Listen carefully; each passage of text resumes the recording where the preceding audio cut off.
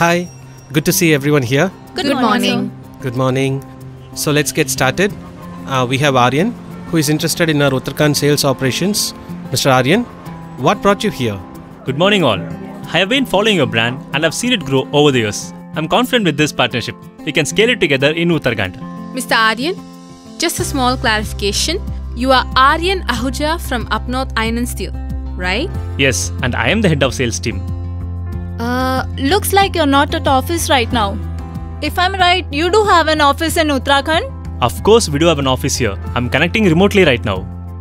Okay. I truly understand. The setup doesn't look very professional. Just to keep everything transparent,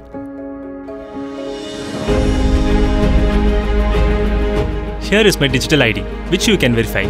Oh, you have a xorkee ID. That's great. Just give me a second. Let me verify.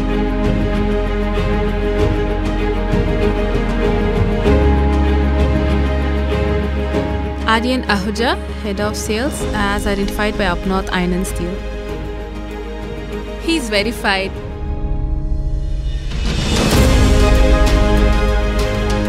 Great. So, Aryan, tell us about your distribution experience in Uttarakhand. Sure. Whether in person or online, verifying identity is non-negotiable.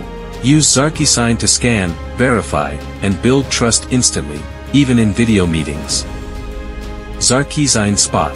Trust, but verify.